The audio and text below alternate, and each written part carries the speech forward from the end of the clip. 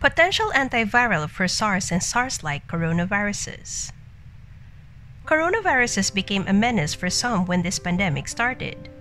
But there is a specific group that experts regard as the most impactful to human lives.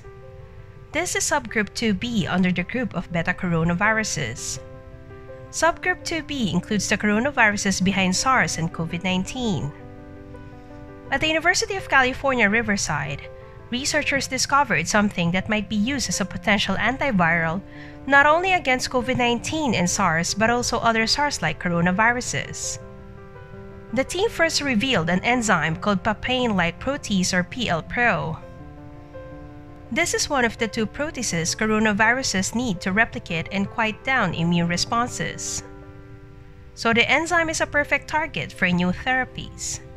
However, the team wanted to know if this key enzyme exists in many coronaviruses.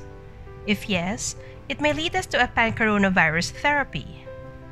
In the paper published in ACS Infectious Diseases, they laid out similarities in biochemical function among PL-PROs in the SARS virus, COVID-19 virus, and other SARS-like viruses confirmed in bats and other species.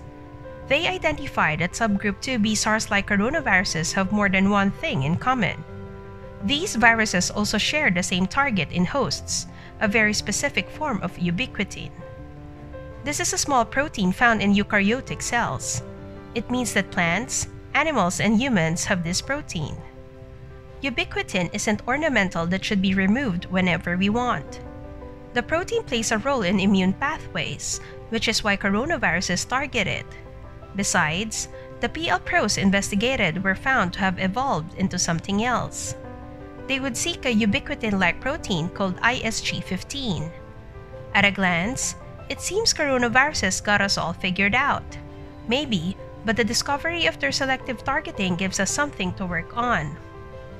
Researchers analyzed PL-PROs in SARS-CoV-1, SARS-CoV-2, and BTS-CoV RFL2004. They tested two small molecular scaffolds and pushed their limits.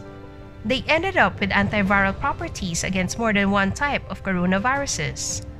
The testing yielded 30 compounds dubbed as subgroup PL-PRO inhibitors. In theory, these should inhibit PL-PROs and cripple the viral replication process. Unfortunately, the study is too early to bring out a new COVID-19 treatment. Our goal is to open the door to future therapeutic design considerations for targeting PL-PRO as a strategy for pan-coronavirus subgroup 2b therapeutics, said lead author Scott Pegan. Although late for COVID-19, the findings will become useful in preventing future coronavirus pandemics. Remember, there are numerous unaccounted for coronavirus strains in the wild, and we have no idea which one of them will cause a ruckus soon. Do you agree with pan-coronavirus therapies? What preparations do we need to prevent another coronavirus pandemic? Share your thoughts in the comment section. Till our next video, thanks for watching.